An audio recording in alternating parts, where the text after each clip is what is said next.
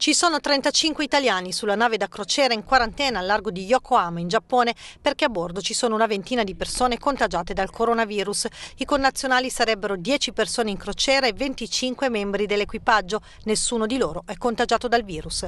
Sulla nave sono presenti cittadini di 56 nazionalità diverse per un totale di 3.700 persone. Dovrebbero rimanere confinati in nave fino al 14 febbraio.